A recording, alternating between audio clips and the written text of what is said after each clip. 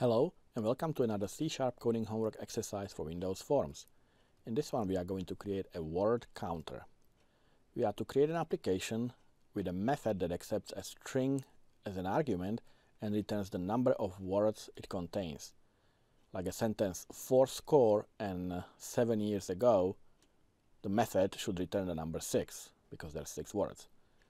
And the application should let the user enter a string and then display then it should pass the string to the method and again display the number of words.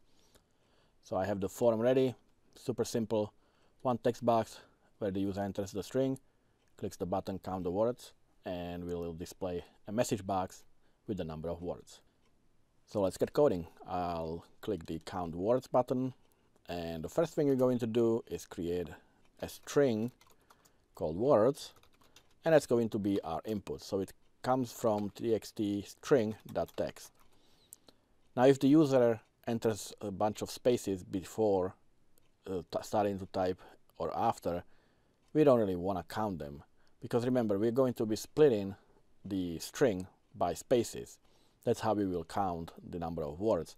So we don't want any extra spaces before and after. So I'm going to use uh, at the end, I'm going to also use that trim to get rid of the leading and trailing spaces. The next one, I'm going to uh, create the method. They want us to create a method that counts the words, so I'm going to create private and it returns the number of words, so it's integer, call it count words. And it expects a string, I'll just call it words. And within the method, we split this string that is being passed as an argument into an array and we'll split it uh, by spaces. So I'm gonna create a string array. I'll call it all words and we will use the words which is the string passed as an argument dot split and like I said we're splitting it by character space. So that will populate our all words array. So now we can just count the number of uh, indexes uh, th that are in the array and we will get our number of words. So we will simply return all words dot length. That's an integer that will give us the length of the array. And like it says, gets the total number of elements in the dimensional dimensions of the array.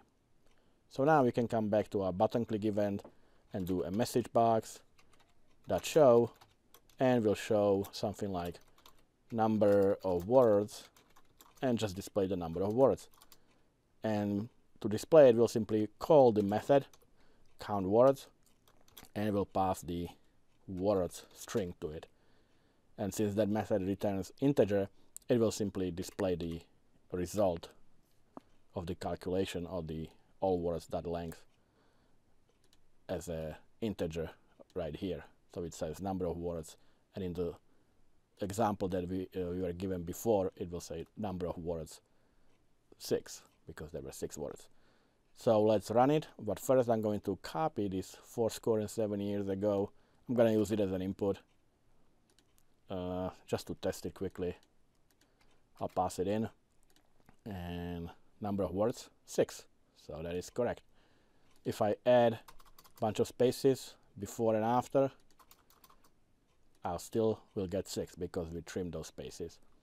Now if I add another word or just a letter, now I get words 7. So that's working fine. Alright, so uh, this is it. Very simple, very short. I hope you liked it, and I will see you in the next video. Take care.